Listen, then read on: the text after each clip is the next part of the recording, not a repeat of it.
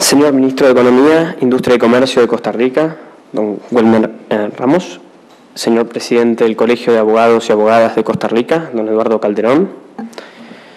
Señor Coordinador de la Comisión Civil y, Com- y Mercantil del Colegio de Abogados y Abogadas de Costa Rica, don Álvaro Hernández. Distinguidos panelistas, participantes del simposio internacional y miembros del equipo del Ministerio de Economía aquí presente.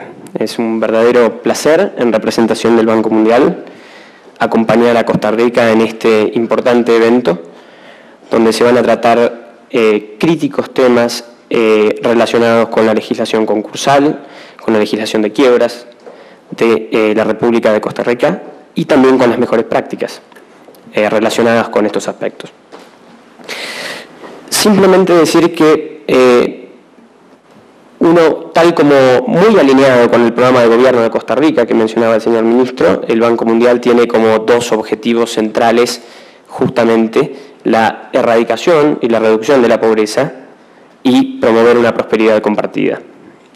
Eh, en América Latina, en los últimos años, la reducción de la pobreza ha tenido una causa mayor, fundamental y prácticamente única. No son las remesas, no son las, eh, eh, eh, no, no solo es el comercio, es la creación de empleos.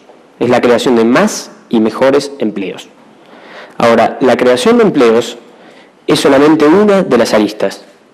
La preservación de empleos es igual o aún más importante que la creación de empleos. Y para preservar empleos lo que uno tiene que tener en cuenta es la preservación del valor. El valor que crean justamente las empresas que operan hoy por hoy en Costa Rica.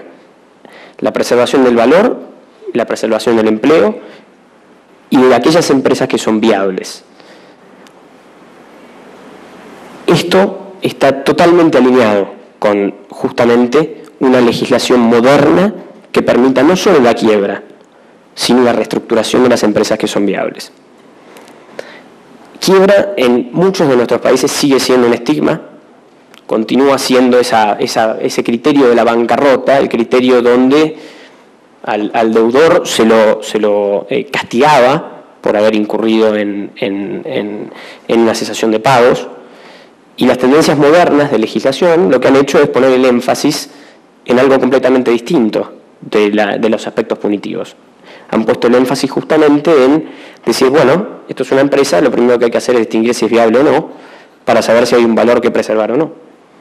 Y esto es una de las cuestiones que los distinguidos eh, panelistas que, me antecedieron han puesto eh, justamente énfasis. Eh, se trata de tratar de, salvar lo que puede ser salvado y las legislaciones antiguas, como las, las del Código de Comercio que muchos de nuestros países han heredado, no han logrado ese objetivo.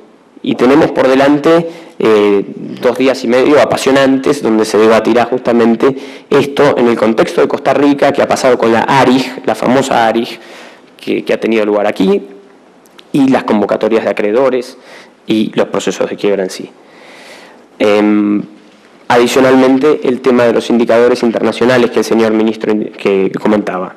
Eh, resolución de insolvencia es algo que los inversores externos y domésticos también tienen en cuenta. Estamos hablando de algo que tiene una relación directa con el clima de inversiones y con el acceso al crédito. Aquellos inversores que, van a, que están dispuestos a invertir, una de las primeras cosas que van a mirar es cómo se sale del negocio si no va bien. Y esto está relacionado con precisamente un sistema predecible de reestructuración y de quiebra. Por esas razones creo que tenemos tres días por delante que son apasionantes y, sin más quiero agradecer eh, infinitamente al Colegio Público por todos los esfuerzos, al Colegio de Abogados, Colegio Público se llama en Argentina, al Colegio de Abogados de Costa Rica, abogados y abogadas de Costa Rica y al señor ministro que nos honra con su presencia hoy en día. Muchas gracias y espero que tengamos tres días fantásticos.